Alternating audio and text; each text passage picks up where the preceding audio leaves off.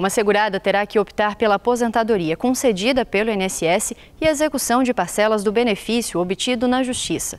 A decisão é dos ministros da segunda turma do Superior Tribunal de Justiça. O caso analisado é de uma mulher que acionou a Justiça depois de ter o pedido de aposentadoria negado pelo Instituto Nacional do Seguro Social. O INSS foi condenado a conceder o benefício com pagamento retroativo à data do pedido administrativo. Mas depois que a Justiça reconheceu o direito da segurada, ela informou que o INSS, em decisão administrativa, concedeu o benefício em valor maior.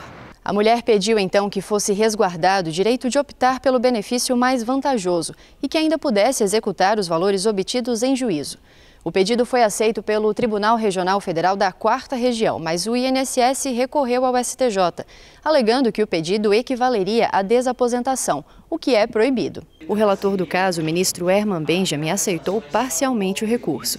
Ele entendeu que, se a segurada recebesse o benefício mais antigo, de renda mensal menor, até o início do benefício que foi concedido pela via administrativa, de renda mensal maior, e este último fosse implementado de forma definitiva, resultaria em desaposentação, por tornar sem efeito a aposentadoria mais antiga para implantar a aposentadoria mais nova. Por isso, foi decidido pelos ministros da segunda turma que a segurada escolha por apenas uma das opções do benefício.